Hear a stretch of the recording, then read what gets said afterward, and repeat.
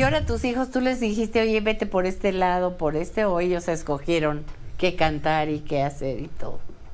Hasta el momento eh, eh, ha sido un trabajo, digamos, más de su mamá y mío en, en- en la selección de AIR y más mío que de nadie. O sea, de qué canciones van a cantar, en qué estilo van a cantar, etcétera. Lo de Ángela, pues todo, hasta ahorita todo. De Leonardo ya, ya sacó un disco producido por él, el, el más nuevo, y lo dio con mucho orgullo, porque Qué bien. ya empezó a, a, pues, a ser autosuficiente, ¿no? Eh, Sí. aunque también hay artistas que nunca se producen y, y no tienen ni nada de malo, ¿verdad? o sea, además con que hagan su, su rollo. Pero en este caso, pues yo soy productor, director, arreglista, compositor, y ellos lo han visto desde chavitos y también lo quieren hacer. Claro. Qué padre. Oye, pero, pero sí, este, o sea, de Ángela sí te dedicas a, a su carrera ya que graba y todo. Sí, por su- de los dos, pero, pero digo, nada más ahorita Leonardo sacó Ya, bueno, disco. ya Leonardo. Y está- Leo le gusta más como esa parte también de producción musical, de- o sea, ¿sí le gusta estar enfrente o le gusta más atrás? No, a él le gusta estar enfrente. De hecho, no le gusta producir. Eh, eh, ahora que hizo este disco de John Sebastian que produjo, Sí. dijo, papá, no sé cómo le haces. El siguiente me lo puedes volver a hacer, por favor, o, o me pones a otro productor. Ah, ok. Y dije, sí, no, definitivamente. Lo que pasa es que Leonardo fue muy opacado por su hermana al principio. Entonces todo el mundo tiene una idea de Leonardo que ni siquiera es en experiencia propia. Es le platicaron, ay, oíste la hija de Pepe Aguilar, qué chido canta. Sí, el hijo de igual y no tanto. Y ya te la creíste. Ajá. Y no lo conocen Claro. a Leonardo. No digo tú, digo Sí, mucha gente, ¿no? en general. No lo conocen. O sea, realmente Leonardo, pues, yo creo que es el más artista de la familia, es el cuate que mejor toca, que más canciones hace. Y nada más no cantaba padre cuando estaba chavito, ahorita canta increíble. Entonces es cuestión de que se le dé tiempo Sí, claro. y, Y, se vaya acomodando. Y tendrá su lugar, porque también no son carreras. Ángela llegará donde tiene que llegar y él llegará donde tiene que llegar. Ajá. Y yo también. Esto no se acaba hasta que se Y acabe. Sí, es que Ángela desde chiquita que nada más abría la voz y ya salía la voz solita.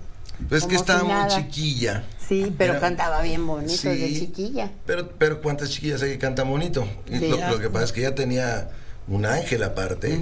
O sea, se sentía muy cómoda Sí. en todos lados. Entonces eso como que caía bien. Y, tiene un don ahí. Y eso importante. también es, es, es bueno, ¿no? Que al final la gente pensaría que tú no apoyas o que apoyas más a uno que a otro, pero que en realidad tú les estás dando su tiempo a cada uno de, de hacerlo cuando ellos se sientan cómodos y de que tengan su momento cada uno, ¿no? Pues algo hay de eso.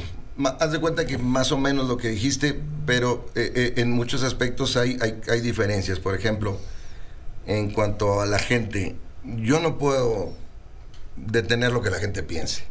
Y si voy a estar pensando o trabajando en base a lo que la gente No, piensa, pues, No, nunca no. acabamos. No. o sea, ¿de qué se trata? No. Entonces, pues la gente piense lo que quiera pensar. Aquí lo que hay es un profesionalismo que va prim- por, por en- encima de todo y una escuela que me enseñó mi padre de respeto hacia el oficio que yo les he pasado a ellos. Entonces no es como que, ándale, mira, mijito, tú puedes, tú puedes echarle, no. Si no tuviera con qué, Ni yo ni me le acerco. De verdad, o sea, si él le quiere seguir, pues adelante. Pero yo no voy a ser parte, partícipe ni cómplice ni verdugo de un cuate que no se da cuenta que no puede. Exacto. Claro, Así de eso es sencillo. Entonces, eh, prefiero que. ¿Quiero hacer esto? Perfecto, mijito. Oye, que voy a. Ándale, mijito, es tu vida. Tú sabrás qué onda. Pero si veo que sí realmente tienen con qué y me preguntan y me piden, pues claro que lo Pues voy a ayudar. Claro, supuesto. ayudarlos, ¿por qué no? ¿Verdad? Y- y- Pero ha de ser difícil que tu papá de alguna manera sea tu maestro, ¿no? Como que ha de estar complicado de cuando a lo mejor y los regañas que se lo tomen como muy personal o no sé cómo ha Pero fíjate, a mí Ángela, a mí Ángela me dijo, cuando le preguntamos eso, que cómo se sentía, dice, yo no me siento cómoda con nadie más que con mi papá. Mm, También. qué linda. Sí, Sí es difícil, pero también depende qué relación tengas. exacto. O sea, si tú tienes una relación donde no te llevas con tu papá, pues va a ser lo más horrible Sí. trabajar Sí. con tu papá. Sí, y escuchar el sermón, No, ¿no? o sea, Ay, otra vez. o, o con papá escuchar las necedades y las tarugadas de un escuincle, la verdad. Entonces es lo mismo. Si te llevas bien, Entonces ya no son sermones, son lecciones. Exacto. Si te llevas bien, entonces ya no son tarugadas de un escuincle, es un aprendizaje. Y a lo que nunca de plano le vas a entrar es a los corridos tumbados. No lo o, sé. O ahora que ves que realmente es algo que el público está pidiendo y que están teniendo mucho éxito estos artistas como Peso Pluma, Natanael Cano.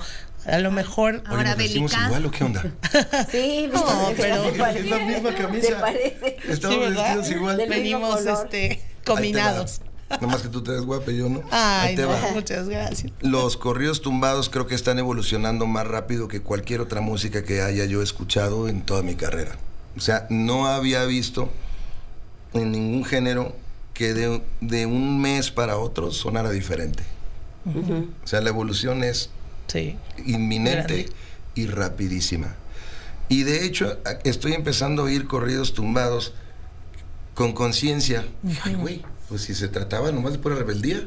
De violencia. ¿no? Y, y de violencia. No, ya están hablando de, De otras Hay cosas, de amor. otras cosas, están hablando de amor, están hablando de conciencia un poquito más profunda. La música empieza a tener ya más movimiento, ya no nomás es un solo tono. Empiezan a, ya a hacer énfasis en donde van las acentuaciones correctamente. ¡Wow! Pues O está, está buenísimo. Yo, yo creo que si fuera la canción correcta, Podría adelante. pegar. Sí. Más todavía. Pues ahí está lo que dijo Pepe Aguilar. Ah, yo sí lo disfruté mucho aquí en la Ay, yo cabina.